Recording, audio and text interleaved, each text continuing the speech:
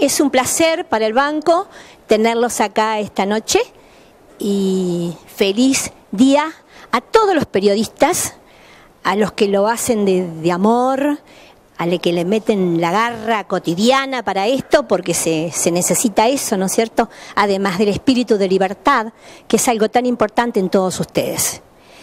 Bueno. reunión donde se vendió al resto de las eh, de los eh, asociadas filiales, nos encontramos que uno de los cuentos estaba escrito por Rocío Coronel de Salto. La verdad que fue un orgullo para nosotros encontrarnos con esa, con esa noticia. ¿no?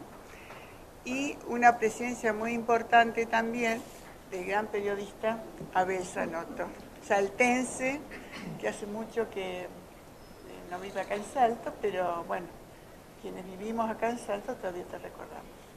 Yo también a ustedes. Escribía en la revista Nocturno y ahora actualmente es psicólogo. Bueno, bueno em, el banco que quiere agradecer, destacar la presencia de todos los periodistas y hoy especialmente en el nombre de estas dos chicas, de estas dos personas que son Rocío Coronel y Abel Zanotto.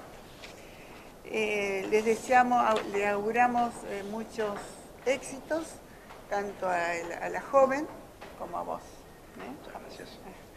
Em, eh, agradecemos la presencia de todos ustedes, a los periodistas, agradecerles la labor que cumplen con, en nuestra comunidad, que pasen un lindo día y bueno, les quiero eh, sobre todo agradecerle por su apoyo para, por afrontar el reto de informarnos y educarnos cada día. Que Dios los bendiga. Feliz día.